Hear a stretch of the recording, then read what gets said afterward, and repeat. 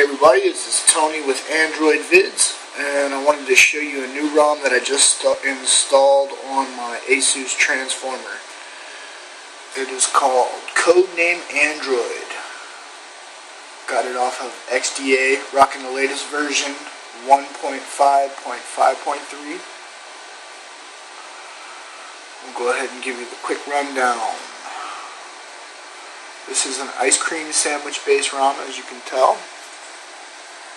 Got the good old Galaxy Nexus boot animation there.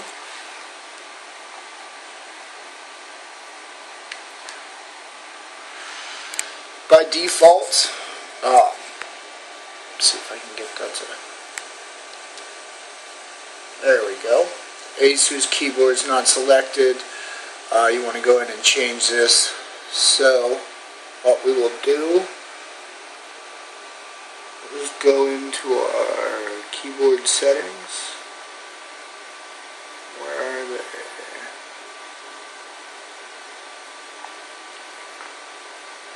Language and input. There it is.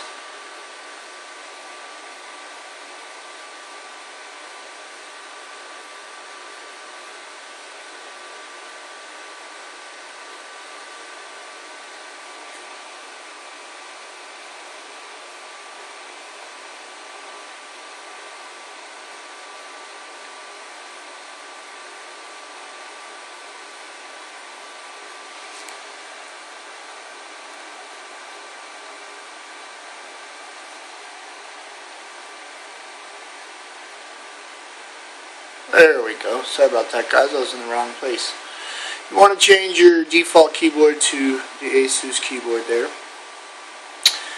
And I'll start off by showing you the installed apps. This is an AOSP ROM, so there's not a whole lot. Um, you got the browser, calculator, calendar, camera, clock, downloads, email, file manager, gallery, Gmail, market, movie studio, news and weather, people, Polaris Office, which was actually cooked in by the developer, search, another search, settings. You got your super user, super user, excuse me, for uh, all your root access, doing your dirty work. And let's go in and take a look at about tablets. We've got Android 4.0.3.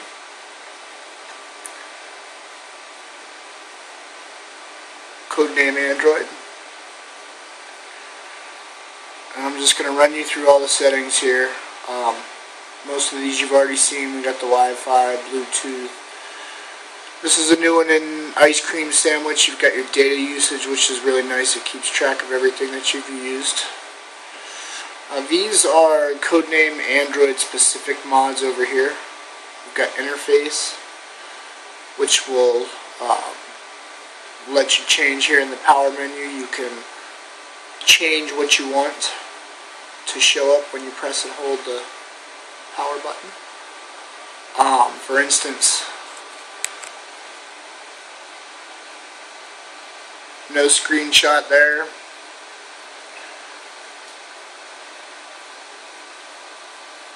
And now you see your screenshot.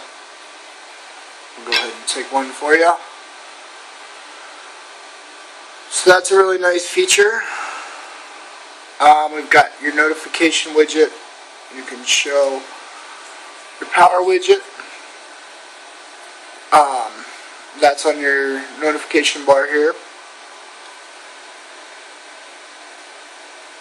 And controls your Bluetooth, excuse me, Wi-Fi, Bluetooth, GPS, and volume.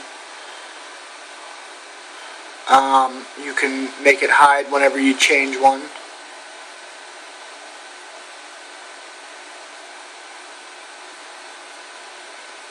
That doesn't appear to be working correctly, but whatever. You can change your indicator color and your widget buttons that you want to display and all that good stuff. Then we've got your performance for your tweaks and overclocking. You can change your processor speed. We've got interactive, on-demand, user space, conservative, and performance. Um, you can set that to boot whenever your transformer boots up. It'll change your CPU settings. We've got profiles over here. Um, this is basically for how you want your notifications to come in um, during different times of the day, I guess. You've got default, home, night, silent, and work. And then we've got the launcher settings. Uh, we're using a CND launcher 1.0 uh, built off of CyanogenMod's Trebuchet. Auto rotate.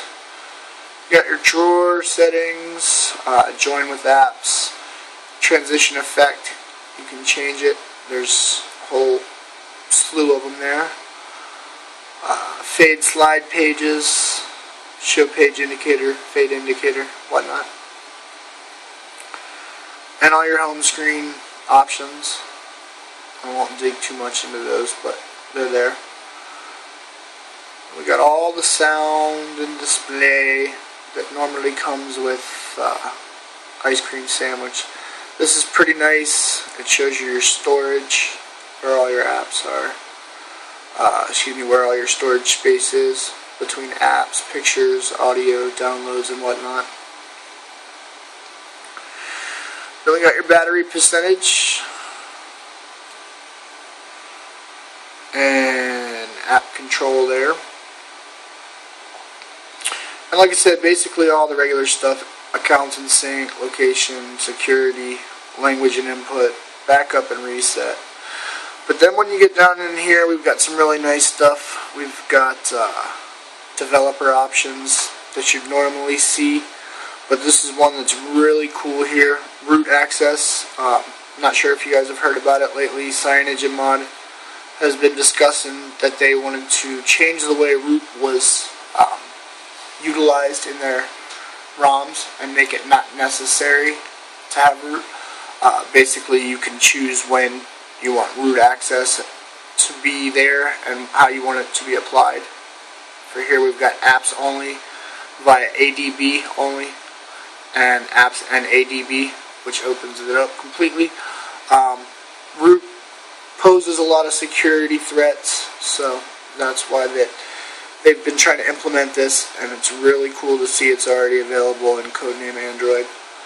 Um, a lot of different developer options and stuff like that that I don't really know because, hey, I just review stuff.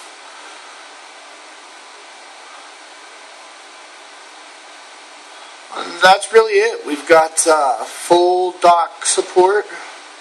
You can turn your Wi-Fi on and off. Bluetooth.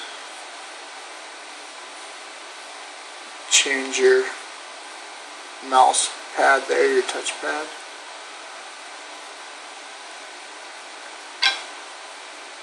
Screenshot from there, which is really nice. We'll open up your browser, settings, and then you've got all the standard music controls right there. They work, but I don't have anything installed yet. I just flashed the ROM and I need to get to uh, doing some titanium backups. So that's what I'm going to do now. Thanks for checking this out. If you want to uh, download the ROM for yourself for the original Asus transformer. I'll throw a link in the thread. And make sure to check us out again on Android Vids. Peace.